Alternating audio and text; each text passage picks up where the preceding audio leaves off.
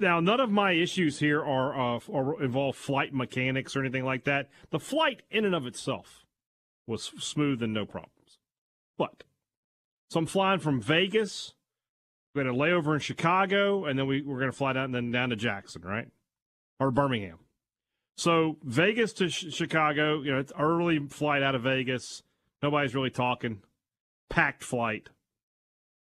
About midway through the flight, this guy like gets up and and goes like he they swap seats. He swaps seats with another person. I'm like, that's just weird. But I don't think anything of it, right? Because I'm not really paying attention. When we land in Chicago, come to a halt, everybody starts getting up. And they're like, Can you please remain seated? And then two police officers who look like they could have played for the Bears come on the plane and they get the guy who switched seats. Again, I have no idea what's going on, I'm, but now I'm just like, what what happened, right? Well, you know, I go I go through the airport, I get to my next flight, I move on. I don't really think that much about it. It was weird, it was an odd experience, but I don't worry that much about it. Like 3 or 4 days later, I'm at home and uh, it, it's past telemarketer time, right? It's like 8:30 at night. So, you know, if somebody's calling you at that hour, it's probably something you should need to answer. And I get a phone call from Chicago. It's like, let's see what it is. And the woman, woman comes on, is this Brian Hadad? Never a good start. You're like, uh oh, here we Like, go. Yeah, yeah, here we go. Yeah, it's like, yeah, yes, yes, uh, uh, close enough. Yes, that's that's who I am. Uh, I'm so and so with the uh, the local office of the Federal Bureau of Investigation, and she proceeds to ask me if I was on a flight from Las Vegas to Chicago on this date. Yes, I was. Do you recall anything unusual happening on that flight?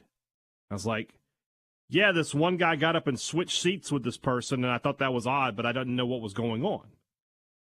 And then that, that guy got arrested when we landed in Chicago. She was like, "Do you have any knowledge of that person or, or, or what he was what he was doing on the plane?" No. Do you have anything else that you remember from that flight in particular? Was, no. All right, Mr. Haydad, we may be in contact with you again, but that will, that that will do. Thank you for this at this time.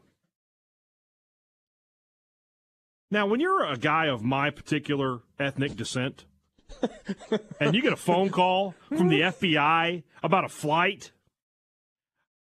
I was a little nervous. I Googled every possible combination I could of man arrested, Midway Airport, on that date, everything I could put in there. Nothing. This guy disappeared off the face of the earth. If he got, I think he went straight to, if you've seen rendition, he went straight to wherever that is. He's gone. We don't talk about him no more. Never got another phone call from the FBI.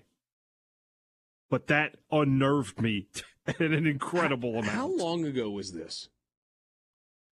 2015. I wonder if enough time has passed that you could call the Chicago field office of the FBI and be like, "Hey, I'm curious. I want to follow up with you guys.